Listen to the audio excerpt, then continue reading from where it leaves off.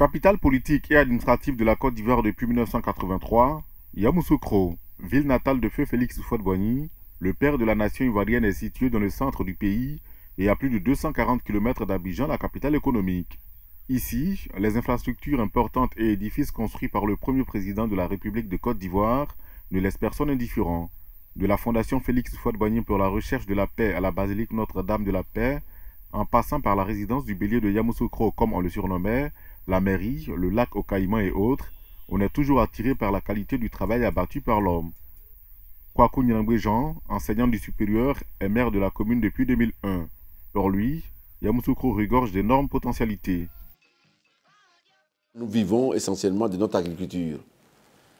Ensuite, euh, au plan culturel, euh, notre patrimoine culturel est en train d'être vivant et est en train d'être valorisé chaque année euh, à travers certaines fêtes, par nous que vous connaissez. Donc, euh, il, est, très élargi, très puissant et je dirais très attractif. L'économie de Yamoussoukro est basée sur le secteur agricole et les femmes apportent leur contribution à cela grâce à la commercialisation des produits vivriers. Nous sommes au marché Maufeté, situé au centre-ville. En ce lieu, on retrouve la quasi-totalité des denrées alimentaires. On prend les marchandises chez les femmes qui viennent des villages aux alentours. Il y a Petit Boaké, il y a Konefra, il y a Onvoué, un peu partout. ça dépend de la manière dont nous place. Si elle nous donne à 4, nous on peut aller faire à 3. Et puis on a un régime dessus. Pour faciliter l'acheminement des produits vers les marchés de la ville, les commerçantes bénéficient des services des tricycles. Malgré le mauvais état des routes reliant les villages environnants à la ville, les conducteurs font plusieurs tours au quotidien pour livrer les produits de consommation.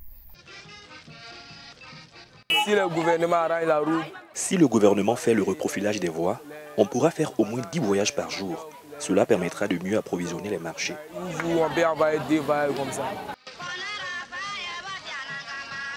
Pour les habitués, le marché Moufeté offre l'occasion de faire de bonnes affaires. On peut facilement s'y approvisionner et surtout à des coûts accessibles à tous. Nous avons tout, la tomate, la banane, les ignames, piments, les condiments. Tout le monde vient parce que là, les tas que les femmes font, sont pour la, on peut les utiliser pour la semaine. Disons un tas de 500 francs de tomates peut aller jusqu'à deux semaines.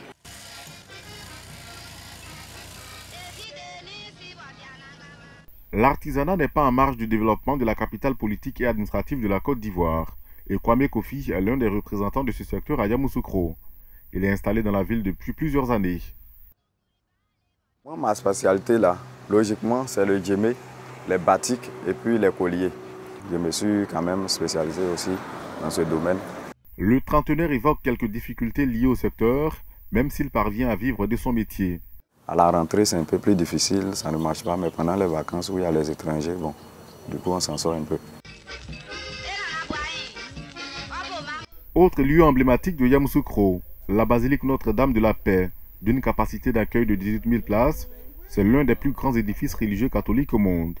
L'institution rattachée au Saint-Siège est dirigée depuis plus de deux ans par le père Franck Alatin de la communauté des Palotins.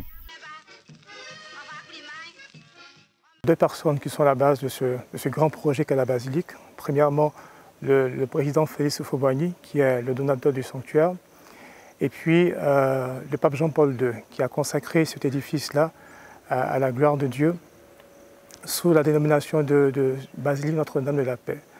Alors le président Félix Foubani a voulu, au terme de son, après une analyse de son mandat comme président de la République de Côte d'Ivoire, voulu rendre grâce à Dieu pour euh, le don inestimable de la paix qui a caractérisé son mandat. Et il a trouvé comme, moyen justement l'érection de ce, sanctuaire afin de rendre grâce à Dieu pour le don de la paix. En plus d'être un lieu de prière, la basilique Notre-Dame de la Paix constitue un véritable site touristique pour Yamoussoukro et partant pour la Côte d'Ivoire. La principale attraction, c'est bien évidemment le sanctuaire. Nous avons ici une superficie de, près de 8000 m2 de, de vitraux, qui est la plus grande superficie de vitraux jamais égalée au monde, et qui est un véritable spectacle, spectacle à la fois euh, artistique mais également religieux, parce qu'on retrouve sur les vitraux l'histoire, l'histoire sacrée le message des Saintes Écritures et principalement le message de Jésus-Christ.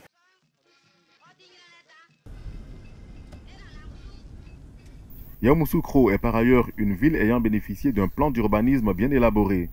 Malheureusement, l'œuvre gigantesque de Félix Fouad-Boigny s'est un peu dégradée.